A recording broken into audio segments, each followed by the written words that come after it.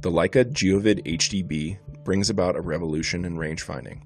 Equipped with a 2,000 yard rangefinder, outstanding optical quality, and a brand new ergonomic design, the HDB stands alone in the rangefinding binocular category. The most revolutionary feature is its built in ballistic computer. This function takes your specific ballistic curve, uses real time data from the onboard thermometer, inclinometer, and station pressure gauge, and delivers a precise ballistic compensation in one of three outputs equivalent horizontal range, holdover, or ballistic turret. The first option is equivalent horizontal range. This output first displays the line of sight distance and then the equivalent horizontal range. This reading is especially accurate if you have a scope with a ballistic drop compensation reticle. The second output is holdover. This setting first displays the line of sight distance and then provides a measurement of how high you should hold over. Depending on whether you select EU or US in the menu, this will either be in centimeters or inches.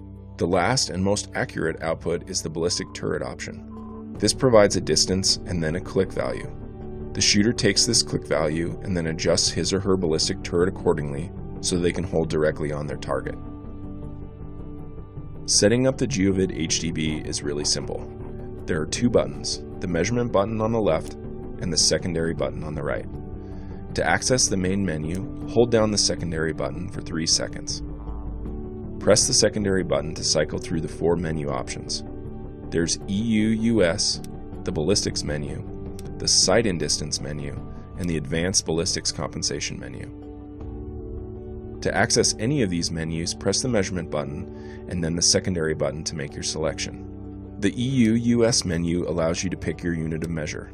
With a US selection, your distance measurements will be measured in inches and yards and degrees in Fahrenheit, whereas the EU will deliver distance in centimeters and meters and degrees in Celsius. The second menu is the ballistics menu. This is where you input your specific ballistic curve either through one of the 12 preloaded ballistic curves already built into the Geovid or via the microSD card with your custom ballistics info. The sight and distance menu is where you specify at what distance you're zeroed. The last menu option is ABC, which stands for our Advanced Ballistic Compensation. This is where you select your output of either EHR, holdover, or ballistics turret. There are five different options for ballistics turret to fit the wide range of turrets on the market today. The first step in setting up the Geovid HDB is to determine how you'll input your specific ballistic information. The first way is to reference the tables on the back of your box of ammunition. Find the amount of bullet drop at the furthest distance available, in this case 10 inches at 300 yards.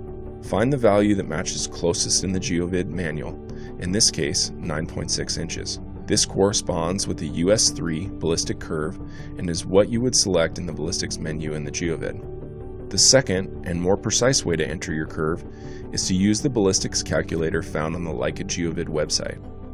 First, select your ammunition from the three drop-down menus. If you load your own ammunition, you can enter that information in the custom load section. Select your sight in distance and click the calculate button. Then review the information on the left, and if it looks good, save it to your micro SD card. Eject the micro SD card and insert it into the Geovids through the battery housing. Let's walk through a full setup using holdover, a sight-in distance of 100 yards, selecting card for our ballistic curve, and US as our unit of measure.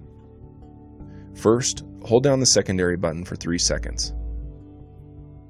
Then press the measurement button to access the EU-US menu. Then press the secondary button to select US. After you make your selection, the menu forwards you to the next menu option, which in this case is the ballistics menu. Press the measurement button to access the ballistics menu and select card from the options by pressing the secondary button. Again, the SID menu appears. Press the measurement button to access this menu and set your range at 100 yards by pressing the secondary button.